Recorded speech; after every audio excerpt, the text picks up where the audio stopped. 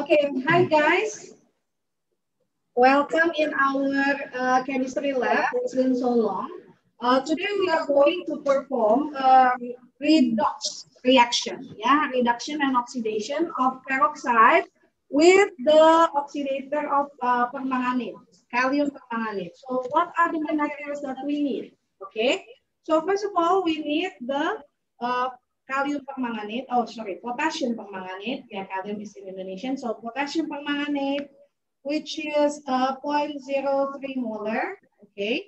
And then after that, we need uh, uh, peroxide. Yeah, we need peroxide. Uh, this still this is still in percentage, yeah, because we make the peroxide uh, from the uh, commercial concentration that is sold in the uh, market, yeah. So it's in percentage. Of course, we can calculate it actually. Yeah, we can calculate it. But right now we will do titration in order to know the amount of the peroxide that is reacting in redox reaction. And then the next is what we are uh, using because remember that the redox reaction uh, by using man, uh, permanganate should be in uh, acidic, yeah, at least in this case, yeah. So we use the sulfuric acid one molar to uh, adapt the acidic pH into our reaction.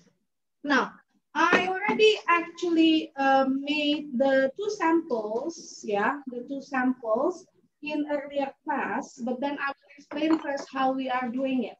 So first of all, in uh, in this experiment, we suppose actually to uh, to give a nickname to every reactant that we have. But right now, because this is just for practice, I already told you what it is.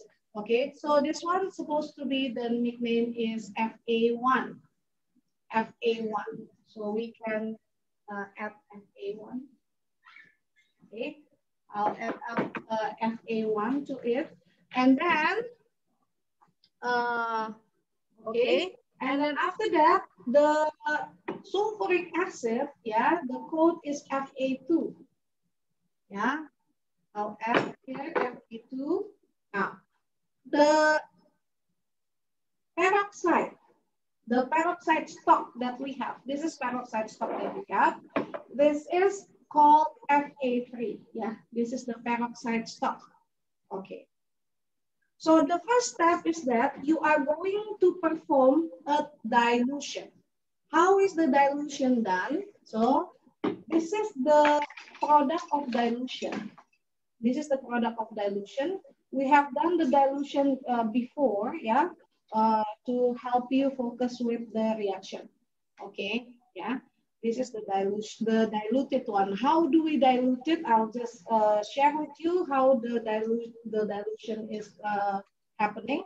So we take 25 milliliter of Fa3 and then after that, we add into the conical flask and then we uh, add the water uh, so that the volume of the solution is 250 milliliter. So it means that we are adding 225 milliliter of aquades or distillate water uh, so that the dilution factor is 10 times. Okay, next. Then what we are doing after we get the diluted one or that we give the code as FA4, yeah. The next step is that we are going to make the sample. So this is the sample, yeah. Uh, it's already made for you, yeah, already prepared for you. How do we do that? So we take 25 milliliters of FA4. We take 25 milliliters of FA4 and then we uh, pour it into the uh, conical flask or Erlenmeyer. And then after that, to add the acidic situation or acidic pH, we add 20 milliliter of sulfuric acid or Fa2. Yeah. And then after that, we pour it into the same conical flask. Okay. And then after we have the uh, both reactants inside, we mix it. Okay, done. Now, we are ready for doing the titration. Okay, now, let's see the uh, burette. Yeah, focus one over here. Yeah. Now, now this is burette. Uh, what we are going to use for uh, calculating or measuring the volumetric or the volume of the uh, KMnO4 that we are going to add. Now, even though this is a titration, but this is not acid and base titration. So remember guys that the acid is only to, uh, to help the reaction. So this is redox reaction, yeah? So in this case, uh, we are going to pour the uh, KMnO4 into our uh, burette until uh, zero, okay? But before, this one has been uh, actually prepared for you, but if the beginning you prepare it by yourself, you will see that there is an empty space over here, okay? And you have to release your, uh, you have to release your reactant first, yeah, in order to have this empty space filled. This time it's already filled. Yeah, this time it's already filled. See, you see, this one is already filled. Okay, you're supposed also to uh, be really careful with this. okay, next, okay. Okay, done. So now we are going to fill in the burette. Now, always uh, prepare uh, the tap in close position when you uh, when you pour the reactant to your burette. Okay. Until zero. Yeah, until zero.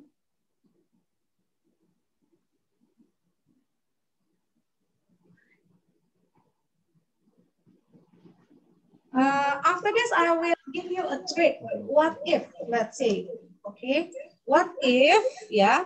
What if, what if I am too short to do this? Yes, you have to be uh, open mind to the situation and then find the solution, the safe solution, okay?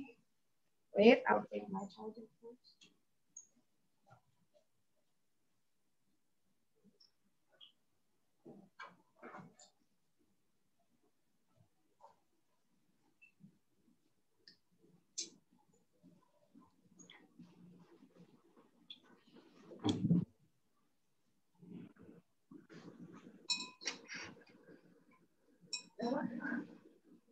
Okay. Now, yeah, it's okay. Let's just uh, clean up from here. Yeah.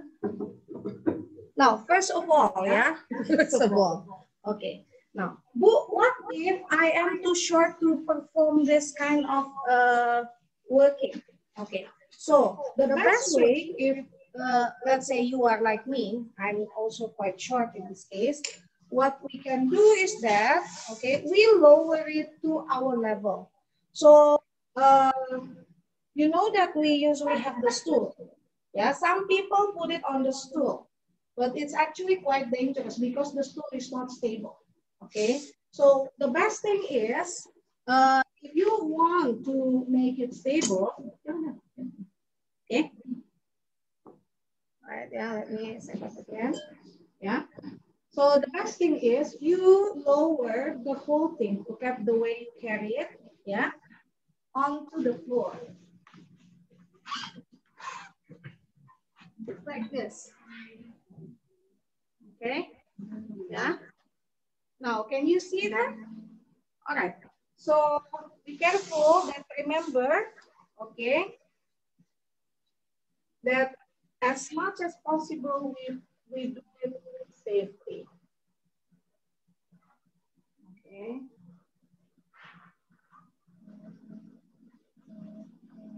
Okay, now it's okay to put it more than zero. So what we have to do is that we have to make it zero. Remember, uh, as much as possible, try to find the UF which is not leaking. right now, we are doing improvisation, okay? It's still leaking. So, now release it first. until it's zero. Okay, uh, at this time, you have to somehow rely on my uh, perception here for looking at the zero. Okay.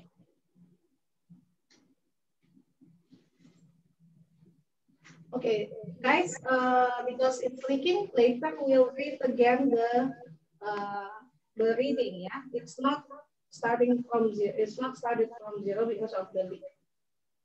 Okay, now we carry back to our table. Okay, so Pak Carlos, would you mind please uh, help us do the reading at the beginning? What is our final reading? So this is 0 0.8. 0 0.8. Now, take a look, guys, yeah, before I continue. Again, uh, the sample already made for you. This is the color that we want to happen. And this is, uh, oh, sorry, this one. This is before the titration. So the before titration, it is colorless. After titration, it's slightly pink. Slightly pink. And for your information, in order to keep the color the same, I would suggest that you would not throw away uh, your ready sample. Why is that so? Because we will rely on the similarities of the color since uh, we rely on the change of the color. So uh, as much as possible, we keep the color the same. Okay, so this is what we want.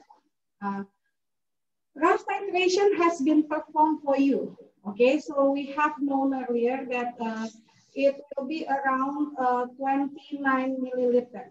Yeah, so in this case, if uh, you have known that it will be around 29 milliliter, then the next reading uh, and the next uh, titration is actually to find out which one is the consistent volume. Okay. Now, since I already know, uh, oh, just now the, the first reading is 0 0.8. 0 0.8. We keep that, yeah, 0 0.8. So plus around 29 milliliters. So I should stop at around uh, 29.8, yeah. So then what I will do to save the time, but remember you can only do this if you already know the rough titration. I flow it and mix it uh, consistently until around 29 point.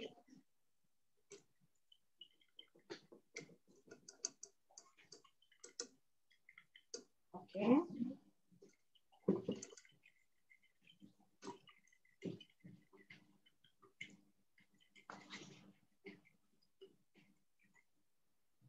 Okay, be careful. Okay, it's already 24. Yeah. Now I'll perform it slower.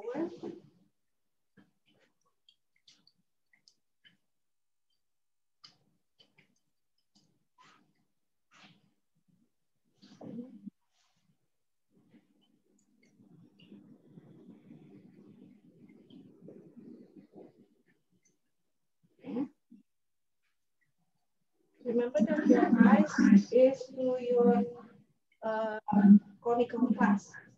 And your fingers are ready to the position of stop right away as soon as you see that the color has changed permanently.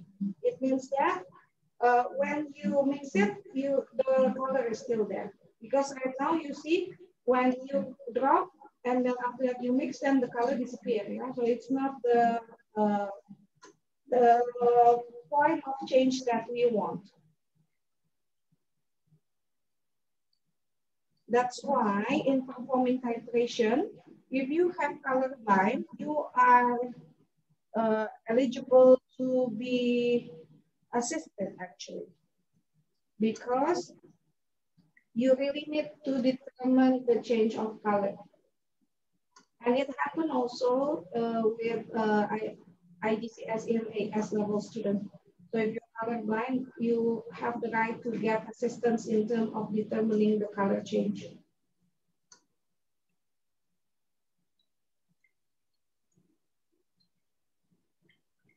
Okay, how it's still changing the colorless, but it's almost there. How do I know that it's almost there, Bujo? Because if you put a drop and the color change is not as soon as possible anymore, it means that your point of change is almost there. See? Previously, as you drop it and then shake a little bit and then it's gone. Now, see, it's still diffused, right? Look at how the color diffused, see? Uh-huh. Okay. Okay. We have to be patient. A bit more, a bit more, a bit more. Almost there, almost there, almost there. Oh, almost there. Almost there. Almost there. Ah, almost there. Still disappeared, but it has diffused to all over the solution. Almost there. Aha, that's what I, ah, okay. Okay, Pak, please do the reading. Oh, this one I can also help you. 29.55, yeah, 29.55. 29.55, yeah. Okay, so it means the uh, initial reading is 0. 0.8. 0 0.8 and then uh, the final reading is 29.55. Okay, this is the first titration. Yeah, I already prepared to sample. Yeah, to sample. So I will do it again for you. Or I also want to try. Okay, so uh, you can get it again. Remember guys, if you want to fill in, always put the waste, the waste glass, yeah, so that it won't uh, spill, okay?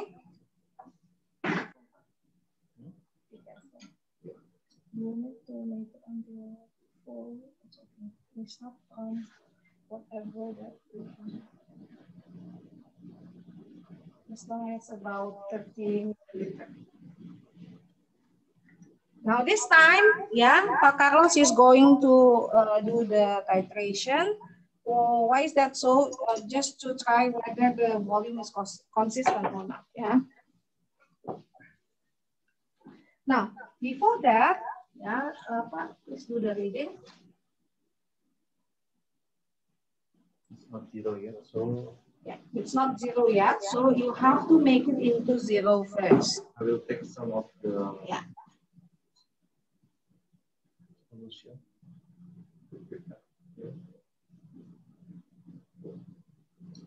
Yeah. You can do pipette out or you can actually also flow it, but uh, either way, yeah, either way that you choose the best for you.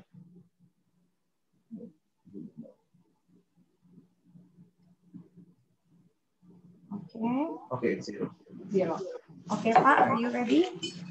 Uh, please do the reading first. This is yeah.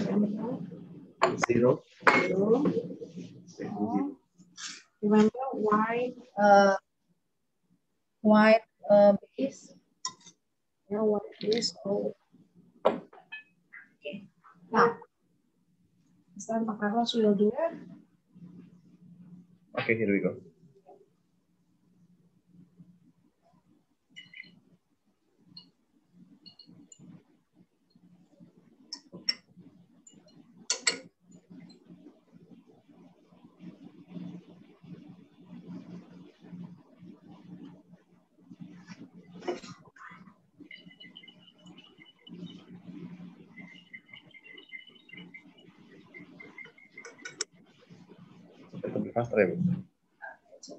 Actually, right now you can still uh, do a bit faster until around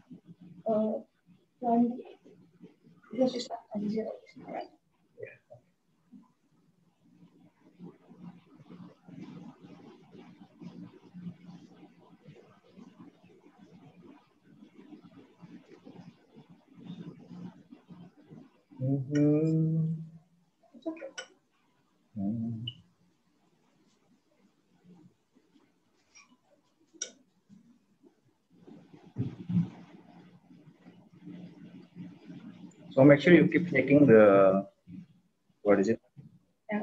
Yeah, conical flask while doing this. So the color will mix. Okay.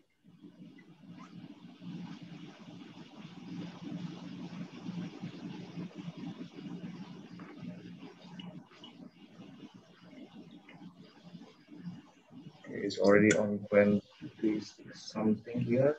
So and I need to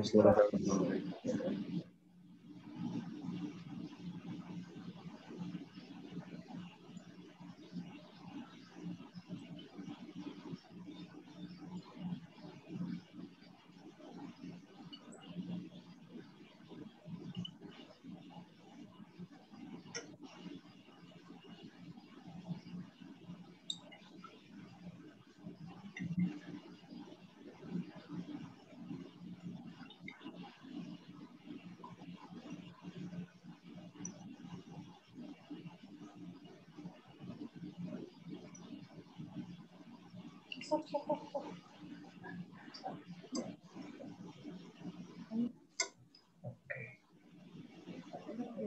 down. Okay. Thank you, Pak Karo. Yeah, thank you. All right, so then do the reading. Okay, so the last result is 28.4.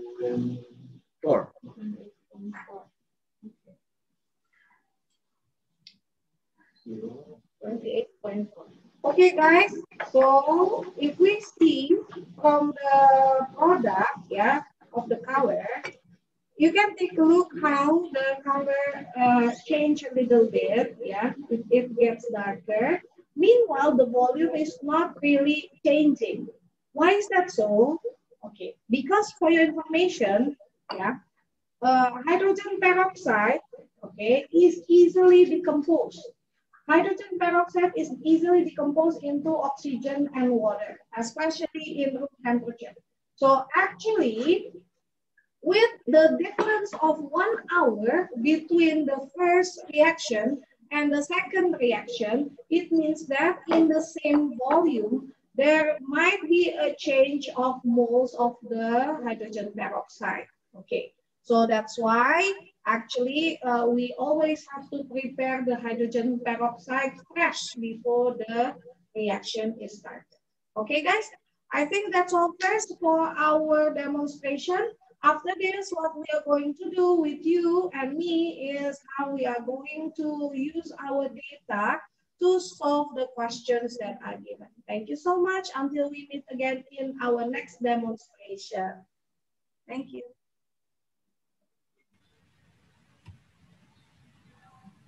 Now uh, we are going to do the uh, ini ya Pak. Oke, Pak. Oke. Okay. Dan that one done ya.